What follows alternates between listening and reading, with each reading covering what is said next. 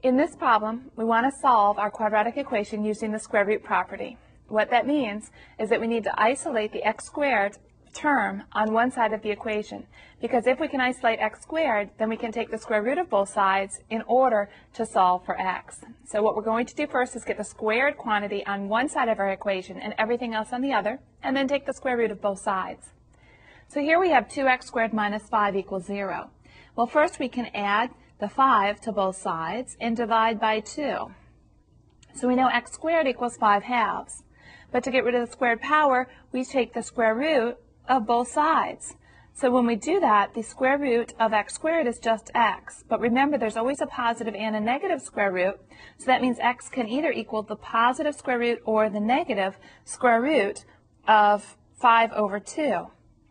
And so in, in this case, though, we have a rash, we want to rationalize the denominator. We can do that by multiplying by the square root of 2 over 2, so that our answer could also be expressed as plus or minus the square root of 10 over 4 which simplifies to plus or minus the square root of 10 over the square root of 4, which is 2. So we have a positive square root of 10 over 2, and we have a negative square root of 10 over 2.